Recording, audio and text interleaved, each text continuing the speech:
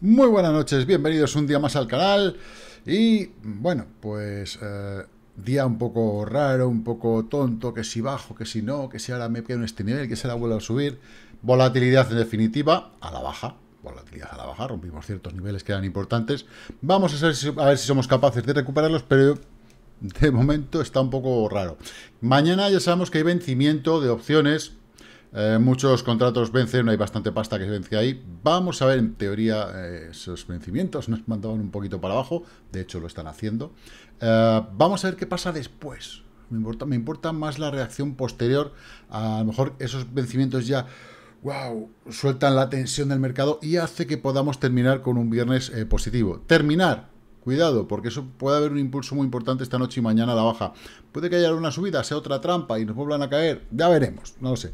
Eh, lo malo es que los viernes empiezan a perder fuelles, sábado y domingo ya sabemos lo que hay, poca liquidez. Los lunes suele haber poco movimiento y hasta el martes, y más con la poca movimiento que hay ahora en, vacaciones, pues eh, bueno, pues es lo que es lo que hay, ¿vale?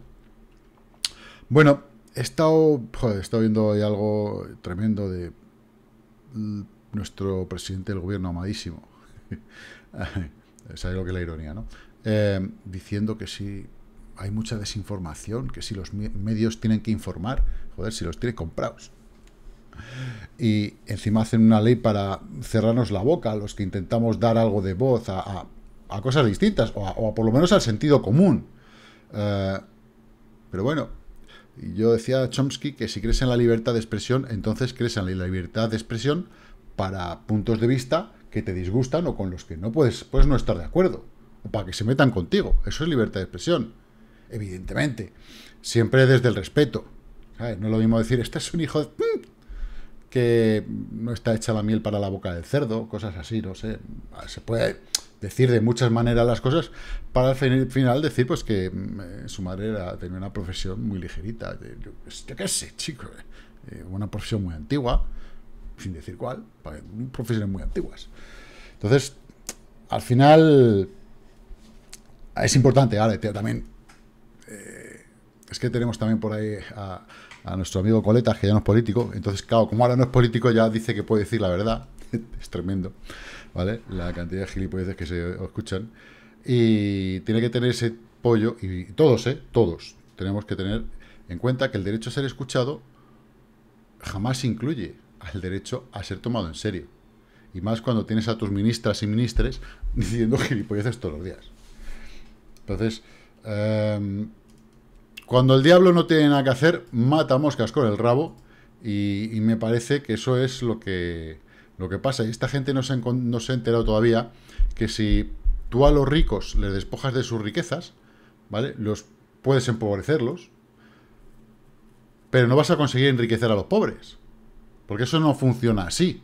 No consiste en lo quito de aquí y lo pongo ahí, que es lo que hacen con los presupuestos generales del Estado. Y cuidado, vuelvo a insistir a lo que digo siempre. Igual que me meto con estos, me meto con los que gobiernen después, o con los que gobiernan antes, porque son todos para mí, la misma mierda, ¿vale? Para mí son lo mismo. Unos y otros. Ya está. ¿Vale? Entonces, eh, a mí que me diga lo que me diga lo que quiera, pero son lo mismo. Eh, y eso no se han dado cuenta de que, bueno, sí, eh, el reparto de riqueza equitativo de aquella manera en forma de servicios públicos Vale, puedo estar de acuerdo, ¿vale? Puedo estar de acuerdo en que sí, sí, sí reparte, eh, digamos, eh, por lo menos la sensación, por lo menos la sensación de, bueno, no soy tan pobre. ¿Por qué? Pues tengo unas buenas carreteras, tengo unos buenos servicios públicos, tengo eh, un buen hospital donde acudir si me pasa algo, hay una buena escuela para mis hijos, vale. Pero no es normal, no es normal en un país, yo creo como el nuestro, que tiene un presupuesto importante en general, que tenga un 4% del PIB en educación, por ejemplo. Y sin embargo, pues en igualdad, pues, pues, hay que luchar, hay que hacer pues, muchas cosas que, somos todos iguales, pero no unos más iguales que otros, no, iguales todos. tenga un presupuesto que sea la mitad del de educación. Aquí algo falla. Cuando ese ministerio se hizo a medida de quien se hizo y se hizo a medida de alguien que defiende la igualdad y que está en un sitio por ser la mujer de, vaya a manejar un presupuesto que sea el 50% del presupuesto de educación. No lo veo, ¿eh? Algo falla, algo está fallando. Cuando eso tenía que ser una oficina, una oficina del Ministerio de Seguridad Social. O sea, algo en la balanza falla. Algo en la balanza falla. Entonces no, no, pero vamos, que, o sea, digo, lo mismo que cuando pues la, la, mujer de ingeniero Aznar, ¿vale? La pusieron ahí de alcaldesa y encima ella lo aceptó sin que nadie la votase. O sea, pero ¿de qué coño vamos? Por eso al final, pues la democracia existe en este país a su manera. A la española. Bueno, a la española no, últimamente como a toda la europea. Y aunque haya gente que no le guste que hable de política, sorry. Pero para mí... Eh, no hablo de política por hablar, hablo de política porque como me afecta al bolsillo, y es lo único que me importa, es decir, de los políticos lo único que me importa es lo que a mí me afecta al bolsillo. Y yo votaré una opción o votaré otra en función de lo que a mí me afecta al bolsillo. Punto. Ya está. Porque yo, yo, siempre he sido, ¿vale? Autosuficiente como para no tener que depender del Estado. ¿Vale? De que me den. De que el papá Estado me dé. O de que el empresario Pepe, que se juega a él, se juega a él su patrimonio, él arriesga su dinero, me dé a mí un puesto de trabajo. ¿Que yo aporto lo que aporto en una empresa? Evidentemente, por supuesto que sí. Pero yo voy, hago mi horario, hago mi trabajo, cuando termino voy a mi casa y llega el día uno y cobro. Pues no, hombre, conmigo no es el caso, ¿vale? Pero eso es lo que hace la inmensa mayoría de la gente. Y encima se atreven, se atreven a decir cosas que, bueno, tampoco voy a entrar en eso, ¿vale? Porque luego cada uno, pues que piense lo que le salga a los cojones. Pero, evidentemente, cuando uno no forma parte o cree que no forma parte de un proyecto, pues pasa lo que pasa. En fin, ¿cuándo va a ser posible entonces hablar de libertad? Mm, cuando el Estado deje de existir. Mientras tanto, va a ser bastante complicado. ¿Eso te convierte en anarquista? No, no, si al final evidentemente tiene que haber un orden, eh, nunca va a, llover a gusto de todos, y mucho menos eh, mm, tal y como están las cosas, y a dónde van, que están muy, muy feas, muy, muy feas. Eh, bueno, hoy he estado hablando con bastante gente, alumnos y, gente en general del mundo de las inversiones y del trading, y, he escuchado una frase que es de Jules Renard, que decía que nos consolamos de nuestras propias incapacidades, afirmando que somos capaces de todo cuando nos lo proponemos. Es decir, nos automotivamos y decimos, yo si me lo propongo, soy capaz de esto. Pues no, pues no. Puede ser proponértelo y alcanzarlo temporalmente, pero cada uno, para bien, para mal, somos todos diferentes, hombres, mujeres, dentro de las mujeres, mujeres diferentes, dentro de los hombres, hombres diferentes por esto, por la experiencia, por la vida, por mil cosas, ¿vale? Entonces, cada uno tenemos unas capacidades. Y tenemos que ser sinceros con nosotros mismos, intentar aprovechar esas capacidades para intentar hacer lo que buenamente se nos dé mejor. Entonces, ¿por qué digo esto? Porque tenía un par de alumnos con tertulios o como lo queráis llamar, eh, y luego un cliente también, que, se empeña en hacer futuros. Y no vale para hacer futuros. No tiene la templanza de los nervios. Yo le he dicho, a ver, si tú quieres cultivar la paciencia, yo te presto a mi mujer un mes. ya verás cómo la cultivas, pero bien. Pero... Vale, vale, vale.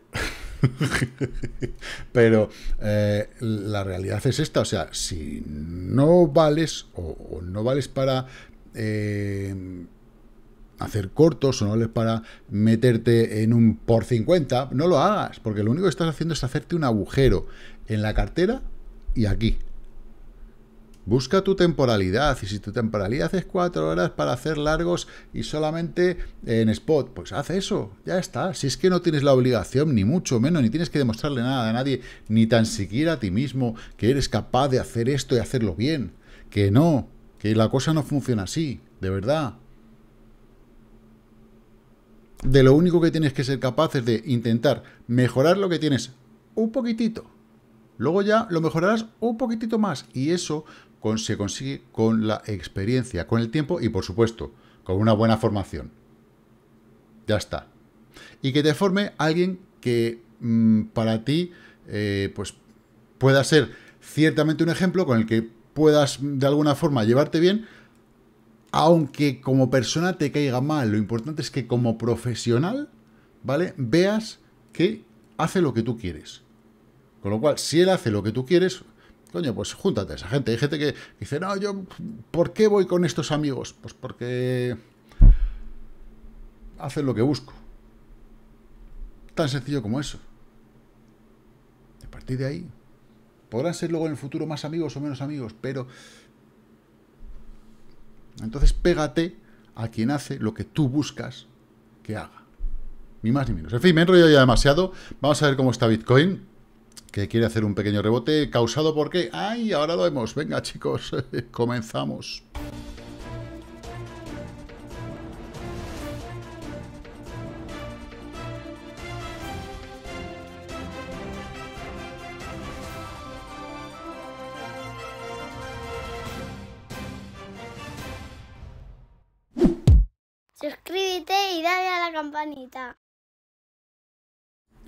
Bueno, y antes de continuar, a petición popular. Hoy nos vamos tú de gel. Hoy nos vamos tú de gel, no. Hoy en realidad eh, es posible. Es posible que tengamos un pequeño rebote o. ¡Hoy nos vamos tu limón! ¡Hala! Ahí la tengo. Es que eh, pido una petición que me ha dicho, me hace gracia que lo de hoy, no vamos tú de gel de tu nieta. Digo, pues venga, lo voy a poner claro que sí, hombre, mi niña, faltaría más. Faltaría más. Bien, también tengo la opción de la otra, de la pequeñita. Vas a tomar por culo. Que dice que no vamos a tomar por culo. Pues bueno, pues es otra opción que está dentro del tintero. Ya veremos a ver sobre todo qué pasa mañana con todo ese vencimiento y cómo nos afecta. Pero estamos en el SP500 y eh, lo que está pasando ahora mismo en Bitcoin es consecuencia de lo que está pasando en el SP500, ni más ni menos, ¿vale? Veis que tenemos, caímos uno suelecito, otro suelecito, intenta ir al alza. En Bitcoin, ¿qué pasa? Pues en Bitcoin pasa, ponemos en cuatro horas, igual veis que hicimos un suelecito, al alza, otro suelecito, y bueno, ¿las, las velas son iguales? No, porque aquí ya en la vela de cuatro horas nos quedan 3 horas y 19, y aquí en la vela del SP500 de 4 horas, pues le quedan 19 minutos, es decir, que llevamos dos horas de salto de diferencia con las velas del Bitcoin, ¿vale? Entonces, de entre el SP500 y el Bitcoin. Por eso mm, muchas veces no nos coinciden las velas. Si nos ponemos en velas de una hora, veremos que coinciden más de lo que nos gustaría que coincidiesen. Eh, dicho esto, vamos a Bitcoin. Y lo que decía ayer, ven eh, muchos, muchos zooms hay con esta pérdida de, esta, de este triángulo, de esta cuña.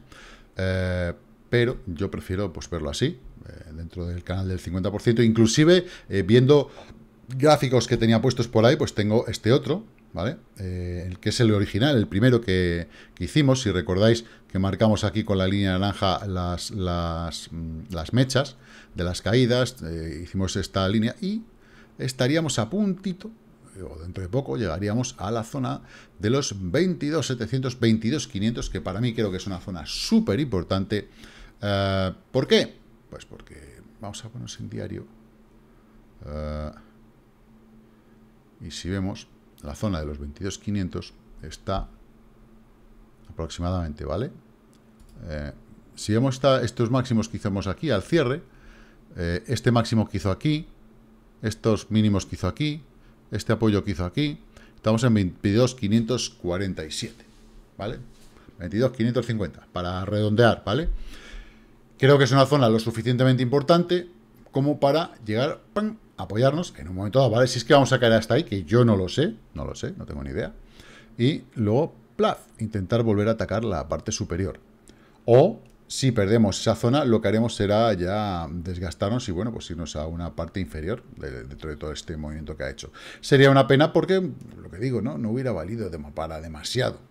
Eh, todo lo que el esfuerzo del alza. Pero bueno, En cada movimiento de impulso hay impulsos retrocesos y hay momentos en los que hay que tomarse unas pequeñas vacaciones. Pues bueno, vamos a ver si es un momento de pequeñas vacaciones y se solventa. Dato importante, en diario estamos topando la zona de 50%, que todavía no la hemos tocado, pero van a ir casi casi, ¿vale? Para apoyarnos y puede ser un pullback a esa zona para intentar volver a alcanzar otro punto. Y bueno, pues si alcanzásemos esa zona de 28, ¿qué ganas las tenemos? ¿Qué ganas la tenemos todos? Pero también tenemos unas ganas de 17 y de 15 y de 14 que no es ni medio normal. Hay mucha gente con muchas ganas de eso. También, eh, a ver, me parece lógico, es normal que queremos comprar barato.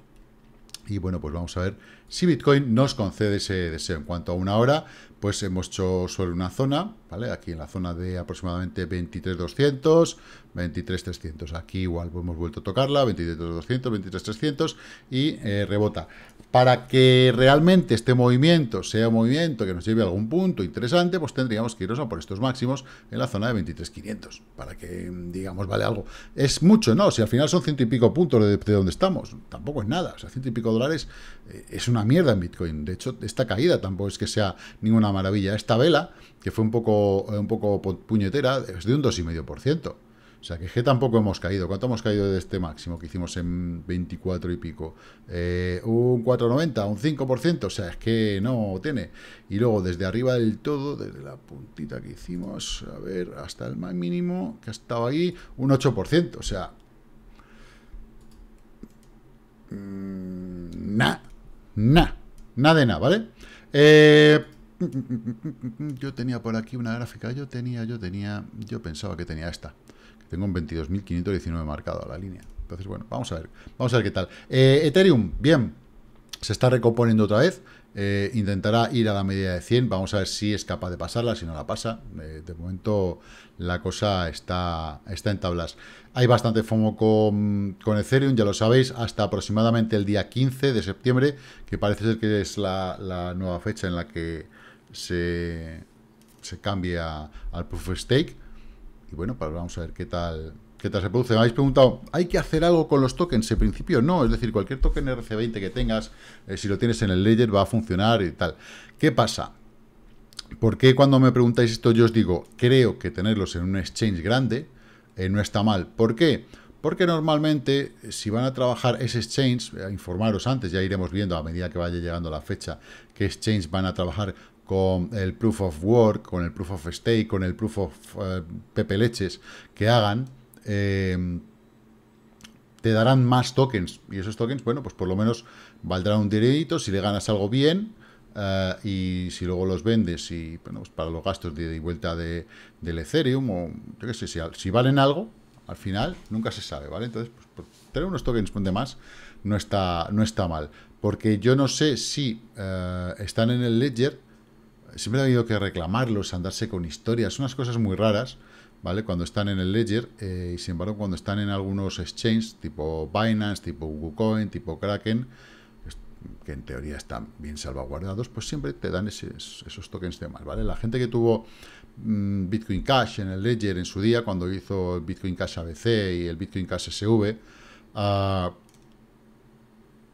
tuvieron sus más y sus menos para luego reclamar el otro y al final, todos tuvieron lo que tenían que tener, pero es un poco rollo.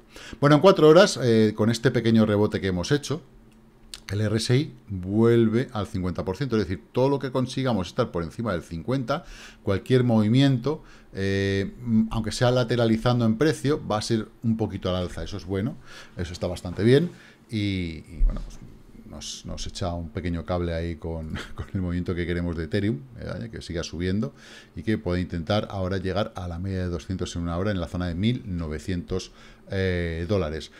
Todo este movimiento que hace que también ayuda a Bitcoin a, recomponerse. Y la vela diaria, pues es bastante buena. A ver si termina abrazando a la vela del día anterior, por lo menos a lo que es el cuerpo de la vela, porque claro, la mecha, la sombra que nos hace el día anterior, pues no es de lo más bonito. Y bueno, pues no estaría mal. Por lo menos es un pequeño colchoncito por si mañana las cosas se ponen feas y nos vamos al soporte del todo. En cuanto al total market cap, no es que haya subido mucho, es nada, es un poquito. Está en una zona como diciendo, voy a ver si me soporto aquí un poquito y me aguantan. Y la dominancia del Bitcoin que nuevamente por la mañana intentó subir bastante, rompiendo la zona del 41%, otra vez se nos ha venido abajo y eso es buena señal, porque no era buena señal que se recuperase aquí y si empieza un camino al 42, hacia el 41,80 de la siguiente línea naranja, que, o sea, morada que tengo, no es bonito, mola más que caiga un poquito más y que le da las altcoins, eso nos daría las altcoins y a todo el mercado en sí un poquito de respiro. El oro, el oro chunguito ha perdido nuestra línea nitro y se está poniendo feo. Está más manipulado que la leche. Es increíble, pero que, a ver, que es una mierda, que no es nada, es muy poquito, es muy poquita caída. Pero empiezas 1.20, eh, 0,67. Aquí ya tienes casi un 2%. Ahora ya tienes un 2, un 2,60% de caída. Eh, a ver, vuelvo a repetir, no es nada, pero algo que está tan manipulado, si viene y se hace aquí un doble suelo, como si, se viene aquí a hacer una marca, entonces volveré a hacer una entrada diferente a la que tengo. ¿Vale? bueno, podré seguramente mejorar un poquito esa entrada y haré una entrada diferente aparte en, otra, en otra subcuenta, porque sí puede tener un doble suelo y, tener un rebote interesante. Eh, ¿Qué más tenemos por aquí? las altcoins. Altcoins, día de un poquito de sufrimiento en general. Pero en el lado positivo tenemos Cereaba, CFX, eh, Spell Planet, eh, KNC, hombre, Kyber Network. Sigue subiendo, muy bien, muy bien Kyber Network. Veis como la media de 100, igual, la, pasó, por fin la consiguió pasar, apoyó otra vez en ella, incluso casi la pierde y para arriba. Muy bien, está muy fuerte, lo está haciendo bien. Eh, que tenemos RAD, Ethereum, evidentemente. Y Ethereum quería yo verla ahora, pero contra el eh, Bitcoin. Ahora lo vemos con en pares Bitcoin. Y vamos a ver unas peticiones que me habéis hecho. Todo aquí también está Solana. Eh, y me habéis pedido cadena. KDA. Vamos a ponernos por, símbolo, porque si no, no lo voy a. No lo voy a, a ver. ¿Dónde está cadena, cadena, cadena, cadena, cadena? En la K, evidentemente. A ver, KDA. Aquí está. USDT, 230 y... Joder, a ver, si es que lo que no entiendo... A ver, me lo ha pedido alguien que me ha dicho que tiene entrada en 1.60 y en 1.40.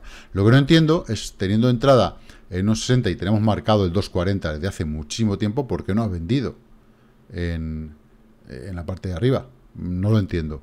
O sea, eh, no voy a decir el nombre. iba, a decirte ya, ni te meto. Pero es que, joder, eh, no es, no es un, análisis que lleve dos días, ¿vale? Desde este máximo y justo llegó ahí.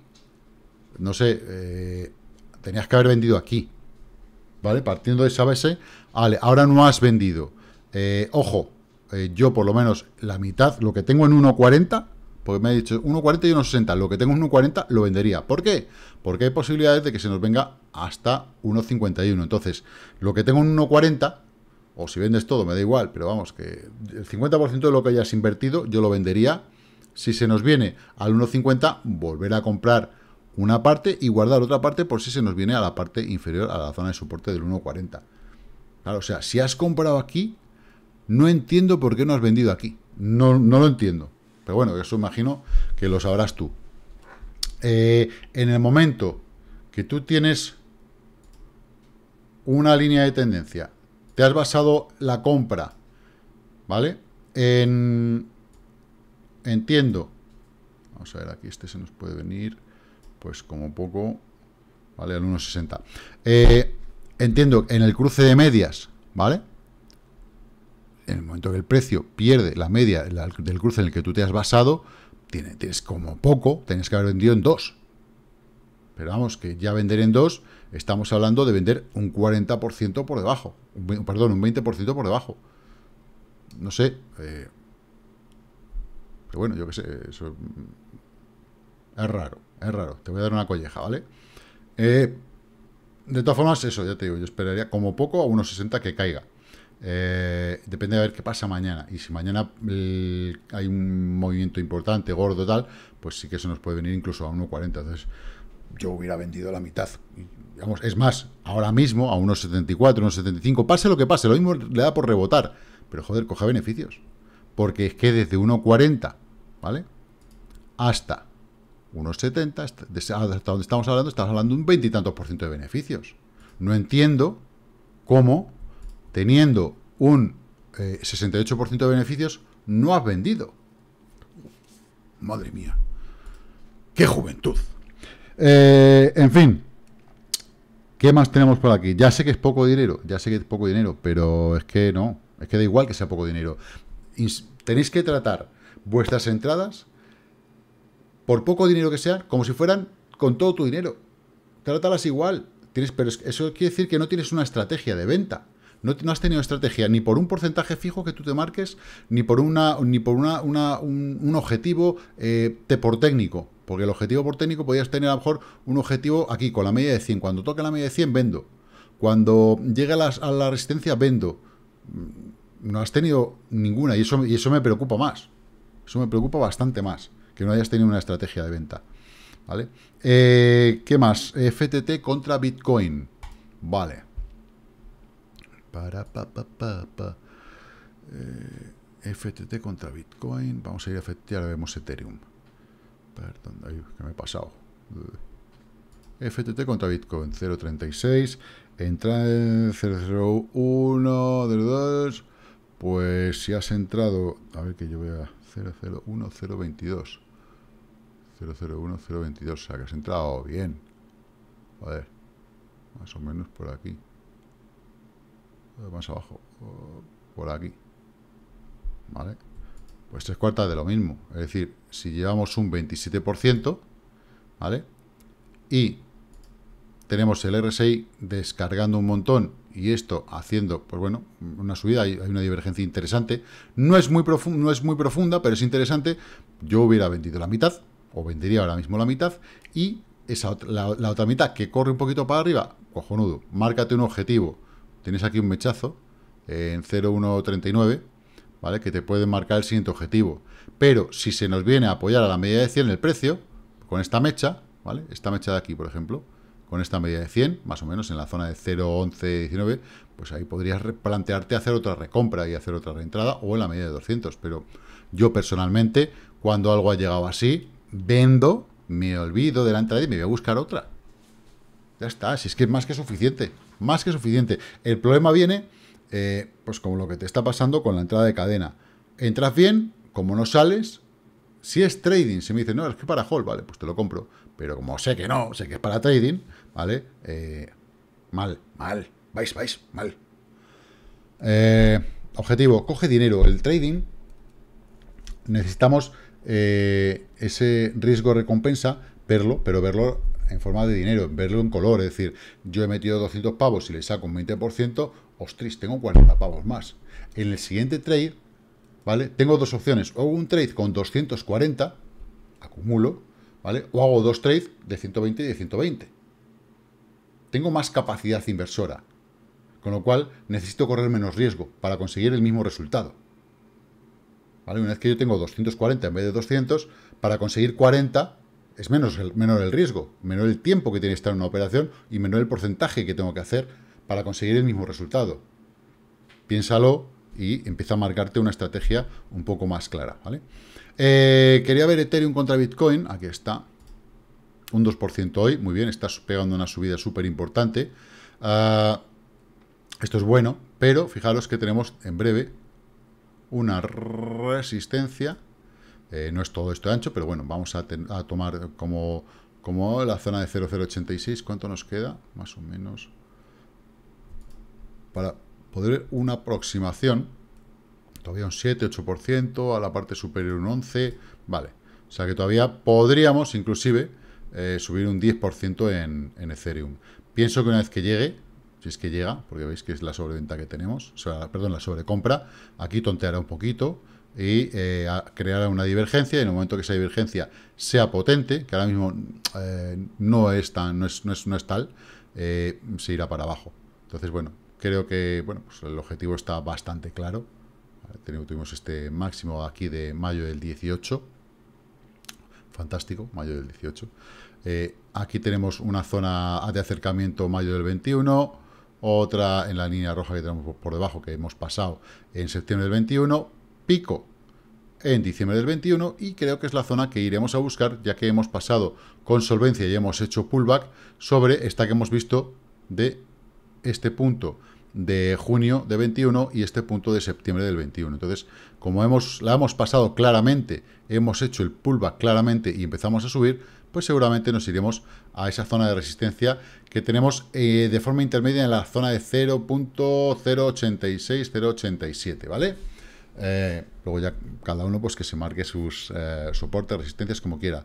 Eh, hemos roto, entonces creo que el RSI empezará a tontear un poquito, un poquito a la baja, pero el precio seguirá subiendo, generará la divergencia y luego nos iremos para abajo. Es algo un movimiento muy, muy, muy, muy típico, pero creo que es importante verlo. Bien, vamos a terminar con Bitcoin, pero quiero verlo aquí y quiero verlo con sus medias, porque claro, como en cada, en cada si la cantidad de, pestañas que tengo aquí abiertas, luego se me, explota el, ordenador. Vale, la zona de soporte que teníamos marcada, pues con esta línea, aquí fue un apoyo, aquí fue resistencia, resistencia, nuevamente se apoyó aquí, hizo pullback antes de seguir subiendo, otra zona de apoyo, ¿vale? Pues es la zona que hemos perdido, en la cual hemos hecho pullback e intentamos otra vez eh, a ver si la atravesamos. Mm, lo normal es haber hecho pullback y caer, pero bueno, si hacemos pullback y hacemos realmente un doble suelo al final, de momento pues, lo parece, no quiere decir que lo sea, en una hora pues se ve un poquito más marcadito, uno y dos, bueno, pues si volvemos a subir a la zona de 23 y pico, o por lo menos estos cierres que tenemos aquí en 23.700, pues bueno, no, sería, no estaría mal eh, por si alguien quiere soltar algo antes de una posible caída, no sé, esta noche puede haber un meneo y mañana por la mañana otro. Mm, importante la EMA 20, vigilarla en una hora, los que estéis en, un corto periodo de tiempo y eh, en el caso de que estéis a 4 horas, una llegada a la media de 100, pues bueno, o inclusive a un toque a la EMA 20, pues estaría bastante interesante. Más allá, de momento lo veo complicado porque no veo demasiada fuerza, veo mucha distribución, yo sigo viendo distribución, a mí llamarme loco, pero yo sigo viéndola, eh, sobre todo en diario. Eh, la distribución se ve clarísima en, eh, en, un bloque, dos bloques, tres bloques, cuatro bloques y cinco bloques. y... no sé, es que a mí me da, me, de un cataplón cuando, cuando metamos, pero sigo pensando que el objetivo debería estar más arriba de lo que hemos hecho. bien, poco más que deciros, chicos y chicas, como digo siempre, invertir con mucha cautela, guardar liquidez para las cosas que pueden estar pasando y que la paciencia os acompañe. Chao, chao.